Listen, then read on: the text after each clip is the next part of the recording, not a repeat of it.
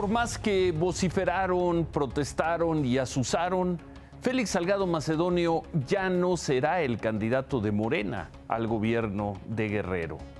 Derrotado, mandó esta advertencia. Desde ahorita convoco a la Cámara de Diputados y a la Cámara de Senadores a hacer una gran reforma judicial y electoral para que estos dos órganos no existan nunca más. Buenas noches. Contrario a lo que pronosticaban varios analistas y especialistas, el Tribunal Electoral Federal validó las tres polémicas resoluciones del INE. Tres de tres.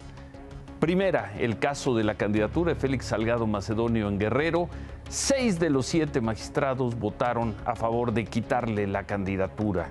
Ya no será candidato. Segunda, algo parecido con Raúl Morón, el candidato de Morena en Michoacán. Ahí la votación fue de 5 a 2. Tampoco será el candidato de Morena al gobierno de Michoacán. Y tercera, quizá la más importante de todas, en votación unánime, 7 a 0 el tribunal canceló la llamada sobre representación de los partidos. Con esto, ningún partido podrá tener más de un 8% de diputados de los que ganen las urnas. porque es importante? Por ejemplo, ahí lo vemos en pantalla, porque en 2015 el PRI tuvo 8 diputados más de los que debía producto su alianza con el Verde. Lo mismo ocurrió con Morena en el 2018, consiguió 39 diputados más por su alianza con el PT y el Verde.